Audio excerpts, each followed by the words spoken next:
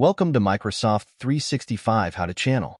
In this video, we will cover how to install Microsoft 365 apps on a Windows PC.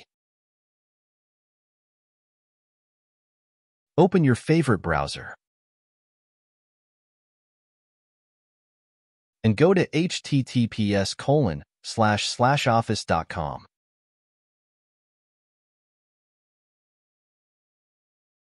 Click on the Sign In button. Log in with your Microsoft 365 account. Enter your username and complete the login steps.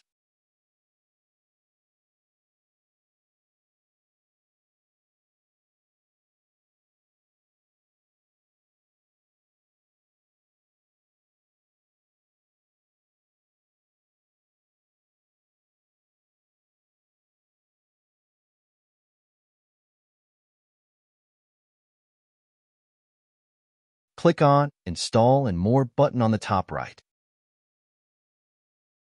And then click on Install Microsoft 365 apps. This will redirect us to the My Account page where you can click on Install Office button to download the 64-bit version of Office Suite. If you want to install a different version, or you have license to download other apps like Projects or Visio, you can click on View Apps and Devices button.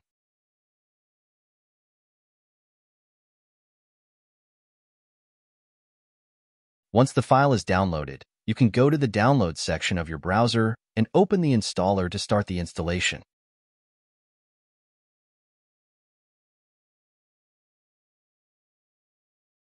The installation process takes about 5 minutes, but it can take longer depending on your internet speed and available computer resources.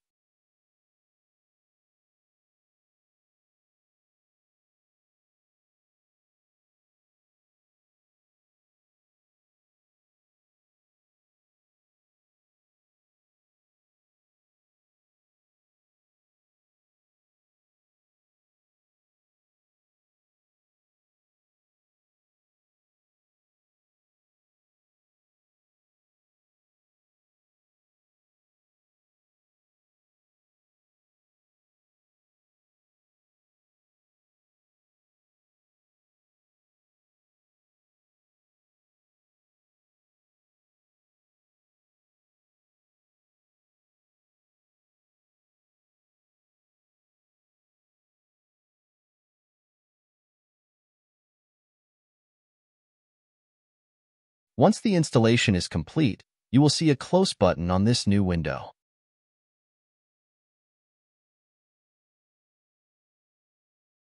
All the apps from your license suite are now installed, and you can find them in your Start menu. You can also pin the applications to your taskbar by right-clicking on it and selecting Pin to Taskbar.